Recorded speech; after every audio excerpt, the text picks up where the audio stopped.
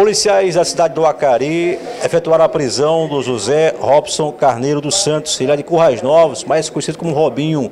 Contra Robinho pesa acusação de assaltos, a mão armada, arrastão e uma moto tomada de assalto. Ô Robinho, você praticou esse assalto? Pratiquei não, meu senhor. Por que, que você foi preso então? Eu fui preso porque eles pediram o celular, aí eu fui logo entregando o celular que eu tinha comprado segunda-feira no beco da troca. Aí pediram, eu entreguei, disseram que o celular tinha sido de assalto. Aí me trouxeram. Você teria sido reconhecido pela, por vítima, segundo as informações? Hum, pode trazer vítima para minha frente aqui para provar que foi eu. Não tem mínima.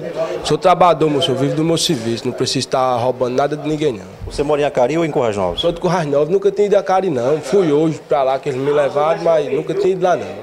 Você foi trazido de Currais Novos para Acari? Foi, foi, moço, foi, justamente. Foi preso em Currais Novos, então? Foi na minha casa, pegaram lá em casa mesmo, pediram o celular, eu digo, rapaz, tá aqui o celular que eu comprei no beco da troca, fui logo entregando. Aí certo que tinha sido roubado. Aí me trouxeram para cá. Você teve preso alguma vez já? Não, não, meu senhor. Não, não. Não tem ficha suja na polícia? Não, não, não, meu senhor. É viciado em algum tipo de droga?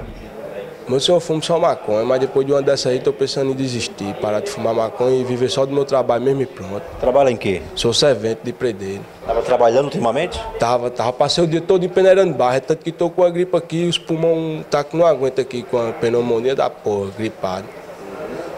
E aí você afirma que é inocente, que não participou dessa ação. Não tem nada a ver. E quem pensar que eu participei, traga as vítimas aqui para me reconhecer, pode trazer.